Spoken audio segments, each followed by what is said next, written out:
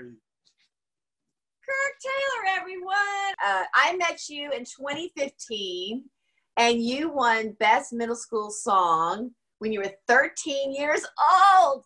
I wish we had the video to show that Coach Mack did with you, and y'all were standing in front of the colonial flag in your your um, your school uniforms. I still love that clip. The entry, the entry that you sent in. Um, you were 13, and then uh, and boy, we did a lot of fun things, which we'll talk about. I mean, um, you you went on the trip to Tennessee. We're going to this Great. clip, huh? It was crazy. Yeah, everything was just like, it was insane, Yeah. life changing. Well, you went. I- I'll I'll give the blowdown here, and then you can talk. Um, you went on the trip, and we re-recorded your song, which is fantastic. It's a rap song with with two other young men, and uh, did a video that we show all the time, um, where y'all talk. We're going to show it today. Joe Scaife, once again, Billy Ray Cyrus, "Achy Breaky Heart" was your judge. Um, but your mentor was Lari White, the Grammy Award winning Laura, uh, Lari White, and she y'all spent time re- re-recording in her studio and uh, you gosh you performed on good morning texas and then at, you were live at, for july 4th we spent july 4th together and you were down in tomball texas for that kind of state fair type of experience. And uh, you've been washington d.c to perform with the department of education. You're from dallas texas. You uh, you were 13 years old, 14 when you won. You are 19 now, and you uh, are in college in Boston, Massachusetts. If you want to say where you go to college, I'll leave it up to you. And uh, you just returned from studying abroad in Spain, but you are majoring in music, right? Yes, ma'am. Yes, ma'am. Yeah. What's your exact? ma- Well, I I go to the Berklee College of Music, um, and that's been my dream school since I was a baby. And um, now I, I make music. Um, I haven't declared a major yet because I'm just the first year, but I'm thinking about either doing performance or songwriting because I've written songs since even before the competition. And um, everything everything that Constituting America has given me has just been like propelling of like my career and just my mindset. Like aside from like all the things that like everybody has spoken about today i gained just like an opportunity to understand myself as a person and as an artist. I got studio time for the first time in my life through constituting america. So now i understand studios. And i can actually self-produce now which is like something that lari white gave me just like a insight on understanding how to mix things and how to work with musicians and how to like work in a studio setting. And then in addition like just the shield of like knowledge like through knowing the constitution. You just know like the things that you're entitled to as a person and the things that like i don't know the things that you're allowed. Um the, things that the government is allowed you know in in terms of where you are as a person and who you are as a person and the things that you're entitled to yeah sorry i'm rambling Well, and you, yeah you uh, so much is running through my mind because we've known each other for so long. Um, right uh, and you also you also won the scholarship in my father's name Yes, ma'am. I did. That was Yeah. crazy. the tournament that was so fun um, it, it- to present that to you because i've known you for so long i've known you since you were in middle school so when you were a senior in high school we have a scholarship that's in the name of my father turner maurice gauntt jr Ex- exemplary citizen award and um, we've only had about four or five winners so far. He passed in 2014 so this is his name. And my father you know I, my father was this exceptional man. In my book i'm his daughter right? But he was a great uh, he, he was an intellect and a great citizen and leader of his class and an athlete. He was from athens texas and then he was plucked up to attend west point military academy and then became one of the first back then west point military academy was uh, air force or army and he was one of the first to fly twice the speed of sound in the 1960s so it's uh, whoever receives this award is an exceptional human being in my opinion because this is a category that where i get to choose and uh, who i want to win that year. And there was no choice. It had to be you the year that you won it. And um, it was fun because I Skyped into your school and you didn't know, did you? I had no clue. And everybody was like, you got to be there. You got to sit in the front row. And I'm like, what's going on? like, but yeah, I had no clue. And then to find out was crazy. And it's a great scholarship. It's for $4,000. It's like 4,300 or something and like that, that. So that covered the gap that I had. Yeah. It was the reason I was in Spain this last year. Ah, well, look at that. Well, my dad is very happy about that. Um, and to, to go back, I met you as a teenager at the Barack Obama Male Leadership Academy. That's where I met you in Dallas, and you graduated from there. So you were there. You're you're the two young men that were with you in this video. They moved off to other schools, I think, but you stayed. You were there all five years. The Well, five years that I know. How many years were you at the Barack Obama Male Leadership Academy? I was there from sixth grade to 12th grade, which is seven years, I think. Yeah, seven years. well, you, it's a great school. I always brag on that school. And, you know, the first time I arrived there, you're all in your suits and you walk up and you shake. If I walk by a door, someone shakes my hand and uh, says, Welcome to the school. You, you were great ambassadors. It's, it's just really, look, they, they uh, had a great student like you. So, well, we're going to show your clip from your trip to Tennessee. Um, okay. This is where we re-recorded the song and we recorded your video, your music video, and it's all at constitutingamerica.org. This clip that we're showing is sort of a little behind the scenes documentary where we followed y'all around and we show it all the time. So once again, you're just yeah, we may not see each other face to face, but I'm seeing you all the time because I'm always playing this clip. Um, so we'll start with this clip and come back and have a few more, few more, a little bit more of a chat.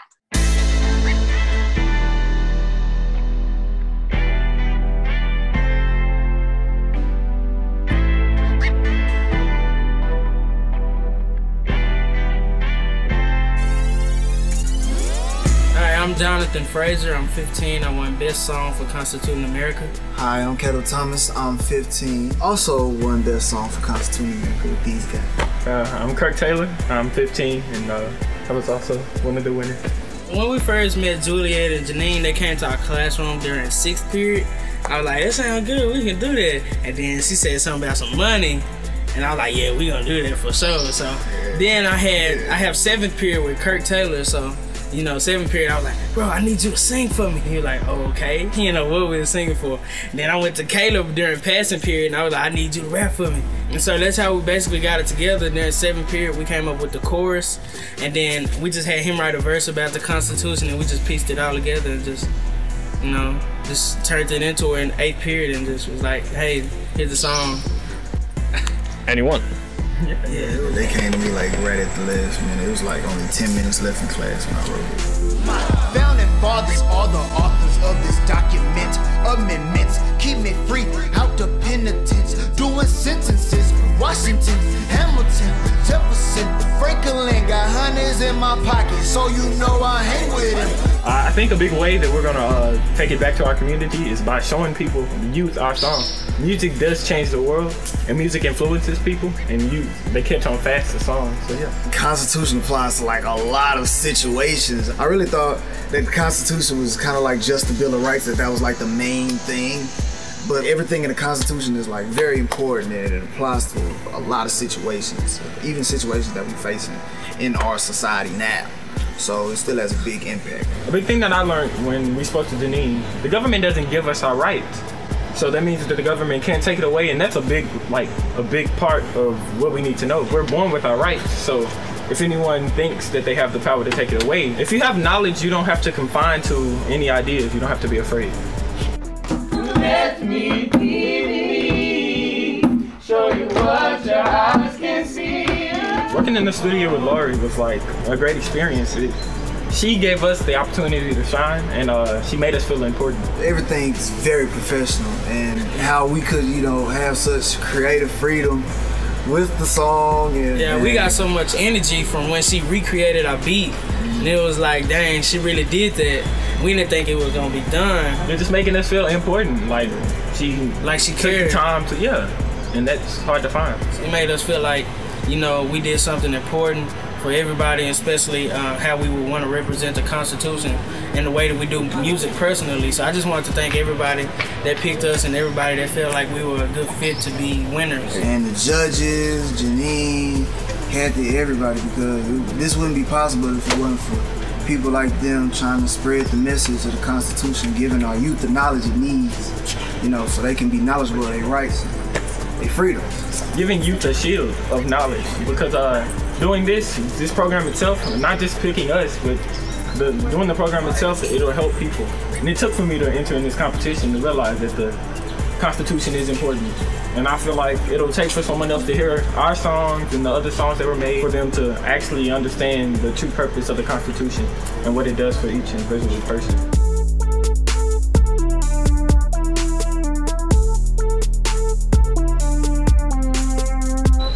Teamwork makes the dream work. Give me a high five. What's it like to see that? I mean, all those years ago. Uh, It's crazy. I was young, Lord. I was really young.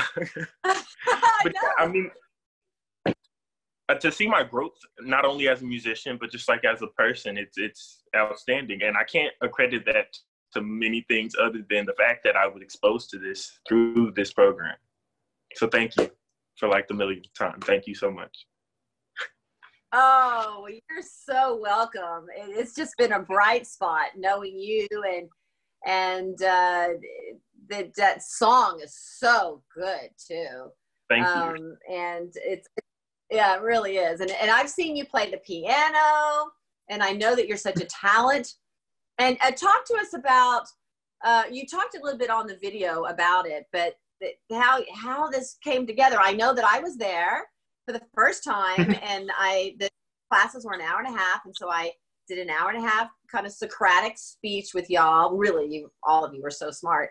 And then uh, by the time I finished at the end of the day, you came in the room and you, the three of you said, We've written a song. So talk to us again a little bit about that and then about your experience of, of, of performing and going to Good Morning Texas and tra- traveling and performing to DC.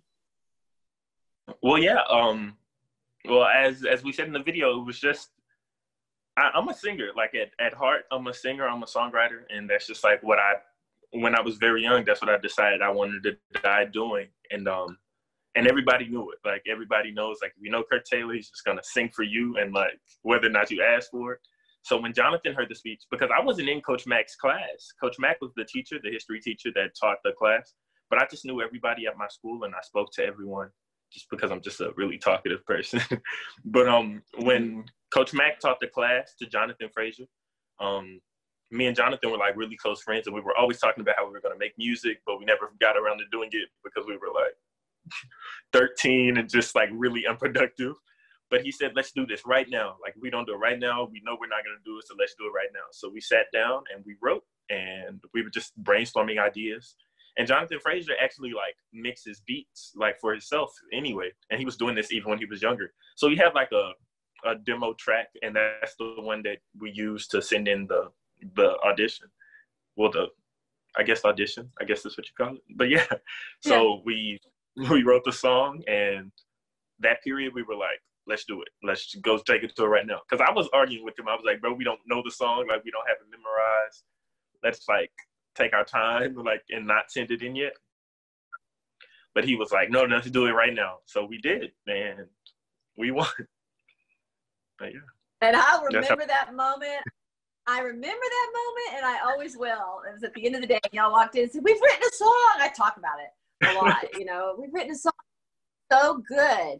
And what was cool about the way what you did is is there was this incorporation of the Socratic speech that I gave, going back and forth with the two of you, and y'all actually applied what I was talking about about petitions and things of that nature. Um, and so it's very clever. The lyrics are very clever, and the, the beat and the, the whole song is is really wonderful. Um, okay, so then you were on Good Morning Texas. You want to talk about that on the on the stage? It's like a Good Morning America, but it's the Texas version. Well, yeah. Um, we. I remember getting the email that said like, "We want y'all to be on TV," and I was sitting with my mom, and like, after I read it, I processed it, and I wanted to act really cool. So I told my mom, I was like, "Yeah, mom, next week I'm gonna be on TV. just wanted to make sure you knew, you know, tried to say with like a calm face and everything. But on the inside, we were like thrilled. Like Jonathan called me and he was like, "Bro, did you see the email?" And I was like, "What? Like, what are you talking about?" Yes, it was the first time like I'd ever had like the exposure of like just being in front of people and like sharing like my passion and like my knowledge, just knowing like, cause nobody really like, like I realized like especially in like my community, the youth are not like aware of like the things that like we need to be aware about and like people pub like people publicize like all of the things that that the government do wrong like that all the things that happen wrong in society and everything but there are like systems in place that protect us as people and like there are things that we're entitled to as people and like to understand that was just like whoa like i'm on tv sharing like who i am as a person and like my gift to the world and my knowledge, my newly received knowledge. So it was crazy. And then we even went like I performed so many places through Constitute America, and it's just like made me more comfortable like in front of crowds because as a performer and as a musician, like that's exposure that I needed, and I don't know when I would have gotten it. So to get it at such a young age, I performed in front of like twenty thousand people in Tomball, Texas, which is like insane. And to this day, it's like the largest crowd I've performed for live. Like it's it's insane and i think it's it's made me the person that i am because like now i'm comfortable talking to people. Like i don't really get nervous anymore. I don't think i know what stage fright is anymore. And i think it's just because you embody like you know you embody such a like such a role if you start at a young age. And through constitute america i did do that. And now i'm here. I'm kind of proud of myself. Oh well we are proud of you. And it's just been the greatest joy to get to know you and to to uh, go on this journey with you. And that was one of the things we really wanted. We really you know we we want to promote you and all the winners you know in in your career field. Um, and you mirror that with your constitutional knowledge and you can you can take that with you. So you're always taking that with you about the founding principles and how it really probably opens many doors and protects your career to begin with you know your, your ability to have free expression in whatever career field that might that may be. You know, the Constitution protects that. But to go on this journey with you has been so much fun, and it go down as I said, July fourth in Tom Tomball, Texas, for that performance and the live performance. I've just been y'all's cheerleader. You know, your cheerleader. um, and uh, and also the Tennessee trip. So briefly, just in closing, talk about your trip to Tennessee. I think you did already, but uh, you re-recorded your song there. Uh, well, you kind of talked about that, I guess. But if you want to add anything to, that, anything to that, but then you did go to DC, and you had the the private tour of uh, the West Wing, and you were there, and you performed at the Department of Education, which is pretty cool. Got to go to DC too. Yes, ma'am. That was the first as well. Like everything through Constituting America has just been like a new like road step, like for me. I had never been on a plane ever in my life. And then at 14 or 15 years old, they were like, we're going to fly you to Nashville and you're going to record with Lari White. And she worked with Billy Ray Cyrus. And like, what? Like, what? What do you mean? Like, all the things that just like, all at once, it was just like, I wasn't mentally, I didn't even know I was there yet. And Constituting America had the faith in me and like the, I don't know, the, the support in me to push me and and the group of guys that I was with because none of us had really been anywhere but Dallas, Texas. Like we've been here all our lives and that's we grew up together and then to get put out in the world and making music, it just felt like while we're doing things productive and we're educating ourselves. Like it was it was surreal, insane. well, it's just it's just thank you for staying with constitution America and for being a part of the youth board and for for sharing your experiences with us today. And I'm, I was really special to hear about, uh, you know, that that the Turner Maurice Gauntt Junior Exemplary Scholarship Award, which I think is the longest title for a scholarship ever. It's pretty um, long. That, I know.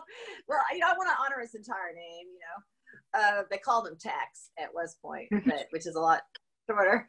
Um, but that that that money from that scholarship helped your trip abroad in Spain. That's really cool to know. And so you had to leave early. How long were you there though? Tell us why you were there in closing here. Well, yes. Um, so my school offers a first year abroad program, which is um, instead of going to Boston, which is where my actual campus is, for the first year, we could study in Valencia, Spain, which is a gorgeous city. And like, it was the time of my life. Like, amazing. I arrived there September 1st and I was supposed to leave in May, but I ended up leaving last Sunday. So now I'm back here because of Corona. But um, it I have no regrets, not one. I enjoyed every moment of it. I was an active performing musician out there. Like I had an actual fan base, which is insane because I'm just a nobody from Texas, you know. And and to be put on a stage in front of people and like equipped and like mentally prepared and know how to speak to people and have a background of knowledge and want to be American because to be American in other places around the world is like it's important. And like you share a piece of your own culture and your heritage and your language. Like even meeting I met a lot of people who weren't just Spanish. I met like Italian people and French people. And just like they recognize the accent they recognize how you dress and they recognize how you carry yourself. And I felt like it was a lot of pressure on me to just you know not disappoint like my people back home and the people who supported me. And it made me work my tail off and now i'm here and i'm i it feels good to be back home knowing that like i left an impression on the other side of the planet. Well and when did you go? When did you arrive there? I got there september 1st of like last year. Oh yeah okay okay. So you know it's once you go abroad it just it just changes you as a person doesn't it you you really i've filmed movies in china communist china and uh, I filmed another movie in Italy and France, and it just once you spend a lot of time there, it it it enriches you and changes your perspective on life, it the does. global aspect of the world, and about what it means to be an American, which you explained so beautifully. And uh, and I just want to say, you may have won the scholarship award, but you have been an outstanding citizen, an outstanding student you're brilliantly talented. And so what you've accomplished, you have done. We, we may have helped a little bit with the scholarship, you know, get, get you over to, with uh, Augment to get you to, over there to, to help with Spain. But, uh, and, and your, your talent with the song and your energy has just been a real treat for us at Constituting America to get to know you and to watch you grow up. And, and we're, we're just lucky to be a part of your life. And Thank we want to keep it that way. We Thank want to be able to say all of the students that are here today we can say we knew them when they're famous now, but we knew them when. What's your uh, genre of music? I, do R&B music. I actually plan on releasing an album Okay. in August. So that's the goal. Ooh. Yes, all of my music So how is can now. we find out about that? Huh? What'd you say? How can we how can we find out about your album when it's released? Okay, so it will. My name is Kirk Taylor, and you can look me up anywhere, and it'll be out. I'm kind of postponed because of the Corona thing. All of my music is in hard drives in studios in Valencia. So at some point, my producer is gonna go back to Valencia, put it on his personal hard drive, and then we're gonna finish mixing it and release it. Our set date was July, but now we're like pushing it to August. And yeah, Oh, I cannot wait to hear it. Do you play the piano in it? Yes, ma'am. I play most of the instruments live. Um, I play the bass. All the bass tracks are me playing live on a bass guitar. I play the drum tracks on MIDI, which is like a piano programming, and then I play all of my piano tracks live as well. Oh my goodness. And you sing as well. I cannot wait to hear it. I'll be first in line. Thank you. Thank you. first in line to hear it. Um, okay, well it seems um okay, but you're last thing, you're in Boston. Well, now I'm in Texas, but I'll be in Boston. My school but is like school, all. school Yes, is it your school in Boston though? yes, ma'am. So are you going back to Boston? when Pandemic's yes, over. September, I'll be in Boston.